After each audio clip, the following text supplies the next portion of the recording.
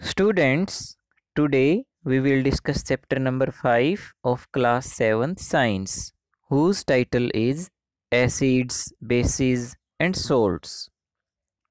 बच्चों आप सभी ने अपनी डेली लाइफ में कुछ खट्टी कुछ कड़वी और कुछ नमकीन चीज़ें ज़रूर खाई होंगी जब हम लेमन जूस पीते हैं तो हमें उसका टेस्ट खट्टा महसूस होता है इसी तरह आप लोगों ने अपने घर में दही भी ज़रूर खाई होगी। तो जो दही का टेस्ट है, वो भी हमें खट्टा महसूस होता है।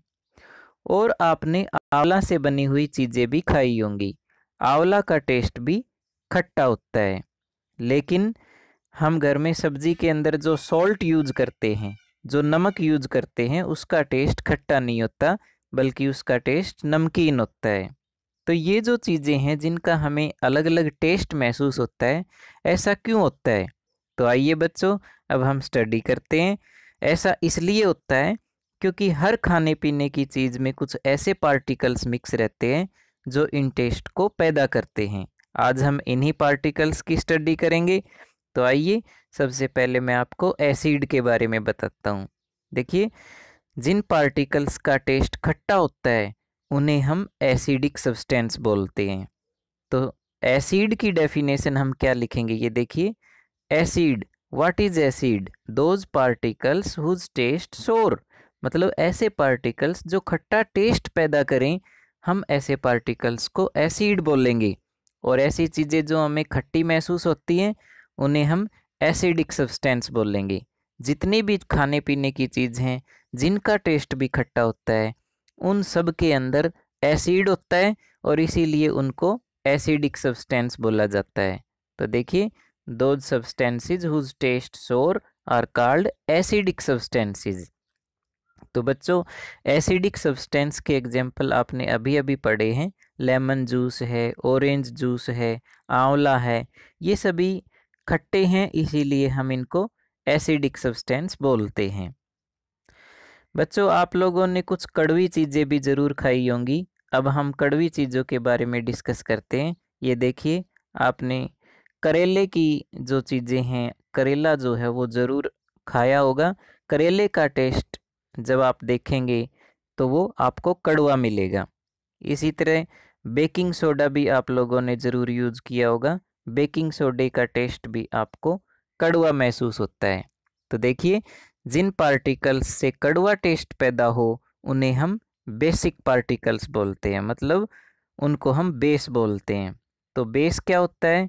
तो बच्चों those substances which are bitter in taste and feel soapy on touching are called bases मतलब ऐसी चीज़ें, ऐसे पार्टिकल्स जिनका टेस्ट कड़वा हो और उनको अगर हम टच करके देखेंगे तो वो हमें साबुन जैसे महसूस होते हैं। तो ऐसे पार्टिकल्स को हम बोलते हैं बेस। तो बेस की डेफिनेशन आपको यहाँ दी गई है कि those substances those particles which are bitter in taste and feel soapy मतलब साबुन की तरह जो हमें महसूस होते हो और जिनका टेस्ट कड़वा लगता हो, हम ऐसे पार्टिकल्स को बेस बोलते हैं। ये जो मैंने अभी अभी आपको एग्जांपल्स दिए हैं, ये सभी बेस के एग्जांपल हैं। जैसे कि बेकिंग सोडा है और करेला है, इसके अलावा साबुन भी है। साबुन को भी आप थोड़ा सा टेस्ट करके देखेंगे तो साबुन का टेस्ट भी आपको कड़वा मिलेगा। क्यों? क्योंकि साबुन के अंदर भी बेस होता है। तो इस तरह से आपने इस वीडियो के अंदर एसिड और बेस दोनों के बारे में जान लिया है कि एसिड क्या होता है और बेस क्या होता है। स्टूडेंट्स खाने पीने की चीज़ों का टेस्ट हमें अपनी टंग की मदद से पता चल जाता है। लेकिन देखिए, हर चीज़ को हम अपने माउथ के अंदर डाल के टेस्ट नहीं कर सकते, क्योंकि बहुत सी चीज़ें ऐसी होती हैं जो टॉक्सिक होती हैं, जहरीली होती हैं। तो उनको हम अपने मुँह में डाल के अपनी टंग की हेल्प से उनके टेस्ट का पता नहीं कर सकते, क्योंकि अगर टॉक्सिक चीज़ों को हम अपने मुँह में डाल लेंगे तो मुँह में डालने से हमारी डेथ भी हो सकती है। तो इसलिए टॉक्सिक केमिकल्स के बारे में पता करने के लिए हम कुछ अलग मेथड यूज़ करेंगे, हम कुछ दूसरे सब्सटेंसेस यूज़ करेंगे, जिनसे हम टॉक्सिक मटेरियल के टेस्ट का भी पता कर सकें और ये पता लगा सकें कि वो एसिडिक हैं या बेसिक हैं।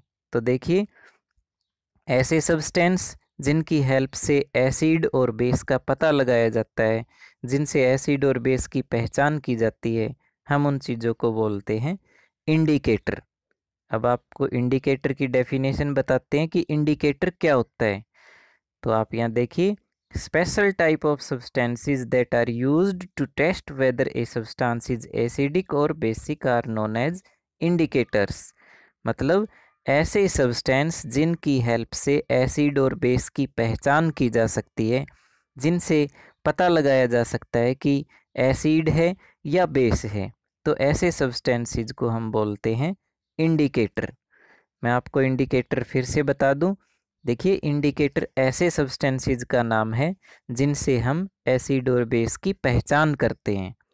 उन्हीं को इंडिकेटर बोलते हैं। और इंडिकेटर जो हैं, बहुत सारे होते हैं नेचुरल भी हैं और सिंथेटिक भी हैं। लेकिन आज हम नेचुरल इंडिकेटर की ही बात करेंगे। तो नेचुरल इंडिकेटर कौन से हैं?